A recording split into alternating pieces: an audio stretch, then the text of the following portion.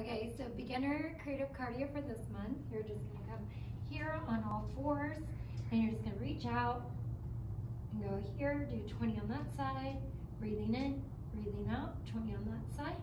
And that's gonna be creative cardio for beginners.